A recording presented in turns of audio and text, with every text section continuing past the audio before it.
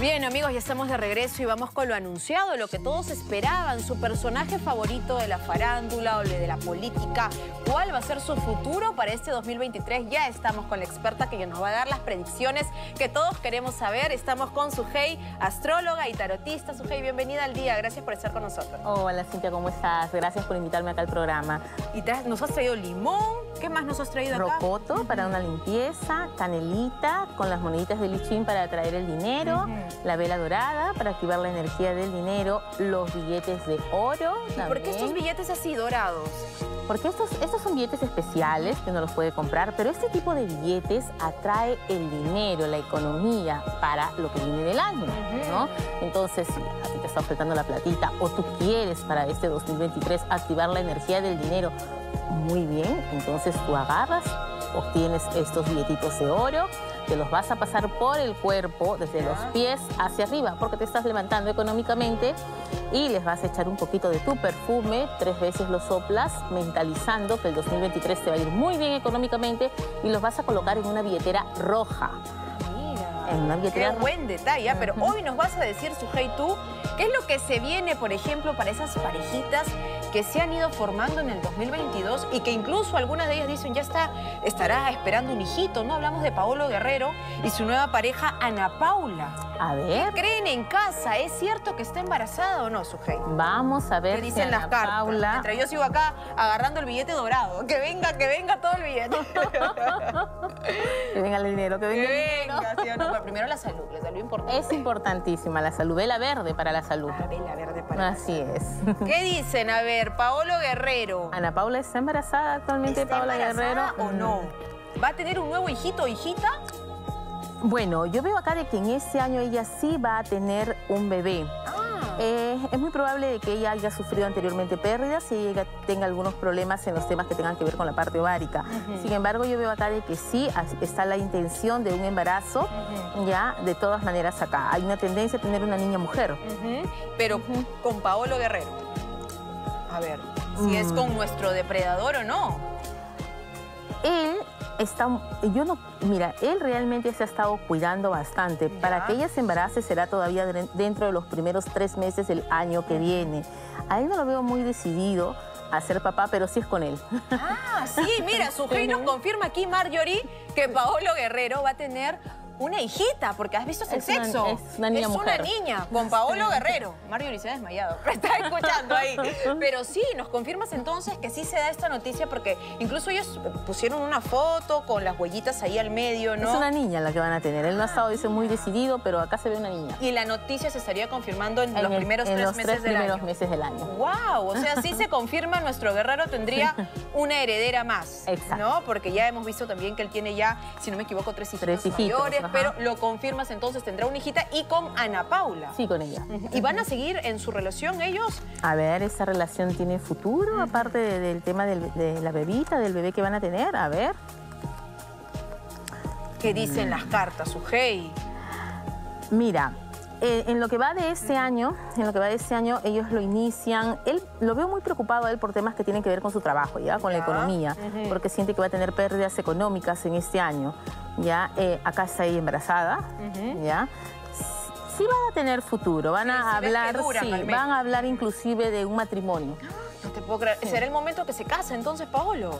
Sí, van a hablar de un matrimonio. En este año que viene van a hablar de un matrimonio, de todas maneras. Mira. Eh, bueno, por un tema también de que él ya quiere hacerse responsable, pero dice que sí, van a hablar de un matrimonio.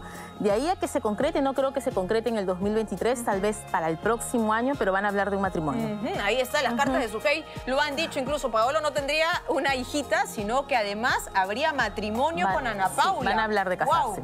¿Qué tal noticias que nos das? Porque hemos visto que muchos adorábamos la pareja de Paolo y Alondra, y ahí definitivamente lo que se veía es que no, no quiso Paolo al parecer casarse, ¿no? en el ámbito político, a ver, ¿qué le depara al expresidente vacado Pedro Castillo? Bueno, el expresidente eh, Pedro Castillo, por las posiciones astrológicas... ¿Continúa en prisión o no? Va a continuar él en prisión. ¿Ya has visto tú ya Ya he visto, he visto, he visto la astrología con respecto al presidente, entonces he visto... Al expresidente. Al expresidente, al señor Castillo, que él este 2023 lo tiene bien complicado. Eh, Saturno ya a partir del mes de enero se le va a poner a él un poquito más pesado en su carta astral y definitivamente este señor van a seguir saliendo eh, más evidencias. Más Exacto, más evidencias que lo acusan y él no va a poder librarse de esta situación. no sale de prisión. No va a salir de prisión. A ver, vamos a ver qué, qué más te dicen. ¿Qué carta le sale a Pedro Castillo en su futuro? Vamos a ver. Bueno, él se siente muy solo. de verdad que impactante lo que nos has dicho de Paolo. A ver. él se siente realmente muy solo en este, en este tiempo en el que él está ahí adentro, está reflexionando acerca de sus nuevos comienzos. Es probable que todavía esté tranquilo, pero esa calma la va a ir perdiendo. Eh, hay aún gente que lo apoya. Ya. ¿Ya? Hay aún gente... ¿Quién ves ahí? A Betsy Chávez, Regular gente, regular personas que lo apoyan, no está tan solo, ¿ya? Hay gente que lo apoya y gente que tiene ciertos intereses económicos, negativos, gente con las que él ha estado, digamos, eh, asociado por temas políticos, por temas de ganancias económicas y todo lo demás. Van a seguir saliendo eh, informaciones acerca de temas de corrupción que tienen que ver con la parte económica para él. Yo le veo complicándosele a él su situación legal. Se le va a complicar definitivamente. Eh, van a buscar que él salga, ¿no? Que él haga eh, la prisión desde casa. Ajá. Van a buscar, van a presentar uno y más de un recurso, pero no veo que se le vaya a dar. No, no, veo que se le... Por lo menos los primeros meses no, veo, no lo veo. Ahí está, entonces en el futuro del 2023 sigue Pedro Castillo en prisión según tus cartas, su Sujei. Pero hablando de Pedro Castillo tenemos que preguntarte también por la presidenta actual, por Dina Boluarte. ¿Cómo, va, ¿Cómo ves el tema del gobierno, no? Llega, se ha presentado el proyecto de ley ya que ya se aprobó para las elecciones del 2024, ¿no? Del 2024, pero ¿lo llega a culminar con tranquilidad o siguen habiendo este tipo de manifestaciones que complican además la gestión? Eso es un problema. A ver, ¿qué ves? Porque es importante también para el país, ¿no? Por supuesto que sí. ¿Qué sale? A ver, Sujei. Mira, hay muchísima tensión todavía en el país. La Carta de la Luna así lo indica. Eh, sin embargo, van a buscar activar los proyectos para el, país que tienen que ver con estabilidad económica, sobre todo en el mes de enero. No va a ser sencillo alcanzar o aterrizar a estos proyectos de estabilidad económica. Eh, va a seguir teniendo, eh, aquí en el país van a seguir habiendo conflictos, problemas, exactamente, por gente que está insatisfecha con situaciones que tengan que ver con trabajo. De pronto a lo mejor hay gremios de trabajos que van a empezar a hacer manifestaciones un poquito violentas inclusive, ¿ya? Un poquito violentas. Ya se han visto 25 muertes, creo, ¿no? Entonces, aún eh, al menos los primeros meses de este año se podrían ver más muertes. Más muertes. ¿Ya? no nos digas eso. Ya no Las cartas están feas. Las cartas están bastante feas. ¿Y eso lo ves en los primeros tres meses? En los primeros tres meses del año, ¿sí? Mm, Entonces, me dice aquí de que hay, personas ya de ideas bastante radicales que puedan querer definitivamente generar serios conflictos al país. Y hay que tener muchísimo cuidado, esto es Plutón, ya, hay que tener muchísimo cuidado con el tema de algunos atentados, ¿no? Que pueden ser cosas así, focos, ¿ya? Reducidos, pero ah, se pueden dar algunos atentados. Mm, mire, qué preocupante lo que nos dices porque nos indicas entonces que ves todavía más víctimas en medio de estas sí. alrededor de ella, alrededor de ella, también veo acá de que eh, ella tiene que andar con mucho cuidado porque alrededor de ella, a pesar de que es bastante desconfiada y va a tratar de cuidarse, hay gente también negativa, ¿no? Que buscaría de alguna manera perjudicarla. De todas maneras, ella como que va a buscar analizar de forma muy inteligente quién realmente la puede apoyar para salir adelante. Yo considero que en el medio de todo va a hacer bien su trabajo.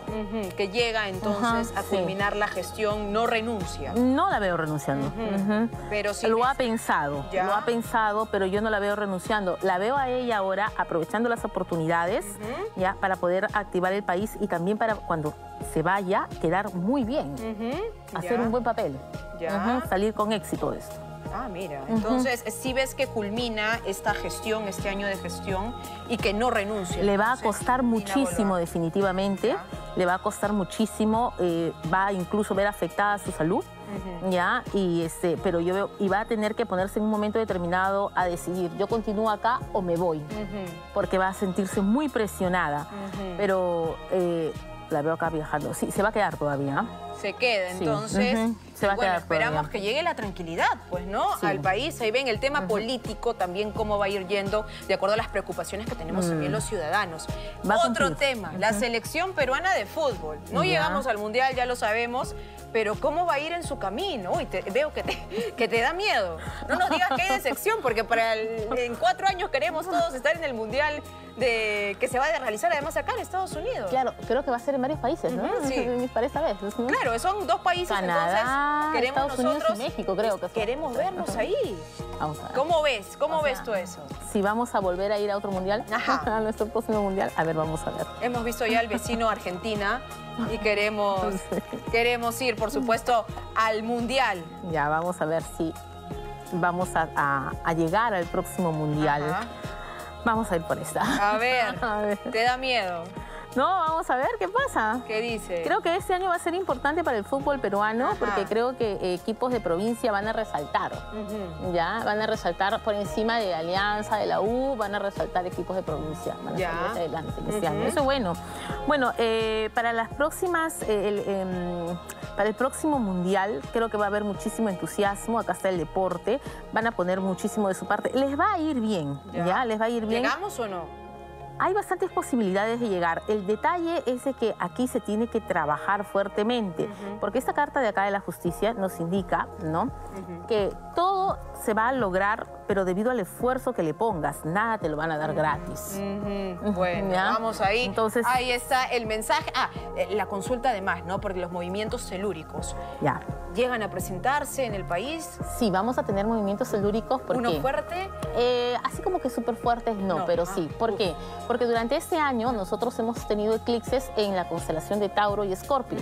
Entonces eso ha activado movimientos telúricos en el mundo y el cambio climático muy fuerte que se está viendo en diferentes países y que eh, se va a empezar también acá a ver de pronto con un verano extremo y con un invierno también extremo. Verano extremo. Y invierno extremo como se está también viendo en otros países. Eso ya está configurado por los eclipses que se han dado ya en la constelación de, eh, Escorpio y de Tauro, ¿no? Tauro es la tierra, es la naturaleza. Entonces, eso ya está, eso se va a seguir dando. Vamos a tener eh, sequía, vamos a tener ahí problemas y temblores. Sí, eso ya está. Ya, Sujei, gracias por darnos. ¿Dónde te encontramos? Bueno, me encuentran en mis redes sociales, arroba Sujei Tarot, Facebook, YouTube e Instagram y pueden comunicarse conmigo al 992-848247. Perfecto, gracias Sujei por estar con nosotros. Y vamos a ver, pues no, si Paolo anuncia lo que nos has dicho tú que va a ser... los tres primeros meses. Papá de, una, niña. niña. Lo dijo Sujei. Gracias.